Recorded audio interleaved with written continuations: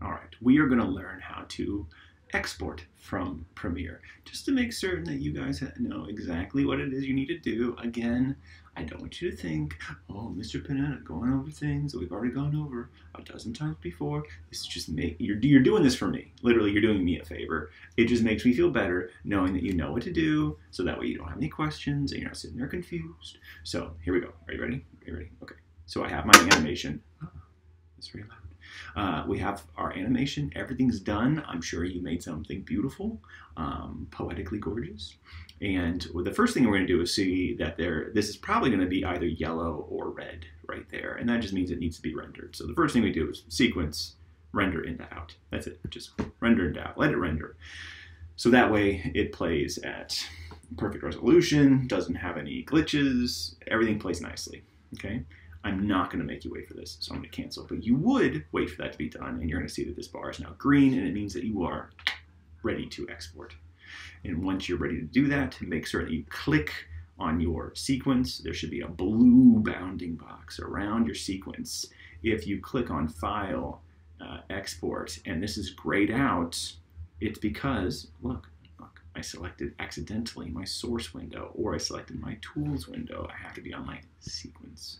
So I go to File, Export, Media. Yay. Now, I have options here. Most likely, what you're going to want is to export this out, and this is probably what is already going to be there because it's what we've always used before. Uh, you're going to want to use H.264, which is the codec for MP4s. Okay?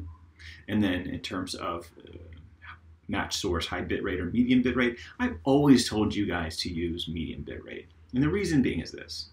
Um, there is not, to me, an enormous quality difference between high bitrate, high resolution, and then this medium resolution. To me, you watch the video side by side, yeah, you can bear, to me, you can very barely tell the difference between the two. But what is different is, if you look on this high bitrate here, it's 111 megabytes, right? The file size. Not a humongous file, but, you know, it's whatever. So if I change the medium bitrate, it goes down to 34. So you're cutting it in like to a third, and that just makes putting it on YouTube, uploading it to courseware, uh, it just makes everything much easier if it's a smaller file size. So I always say medium bitrate. Okay. Make certain that you choose the output name, desktop, choose your folder for the project. I'm going to name it Project Amazing Stuff.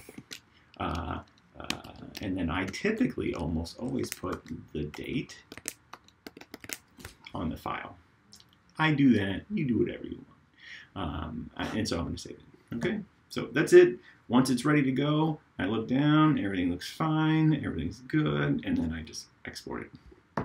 Look, now it's exporting. And now I have my file, which is going to be an MP4, and this is how you're going to turn in your final video files. Okay. Um, that's it. Now, some people have asked me about this in the past. Is if I don't want to use MP4, I prefer to use an MOV file. That is a QuickTime video. Uh, the difference between QuickTime, uh, an MOV, and an MP4 is that an MP4 is more compressed, makes a smaller file size, um, but in getting compressed, it's lower quality. A QuickTime video has a much higher um, video size, or I'm sorry, much higher quality than a MP4. But it also equates to a much larger file size too. So that's why I've never had you guys use QuickTime. The only time that you're gonna want to use QuickTime is when you want to export out something with Alpha, which we will talk about, um, or maybe you already did. I'm getting time confused uh, if you want to export out something with a transparency, which we will or have discussed. So that's it. Export, done, final, good.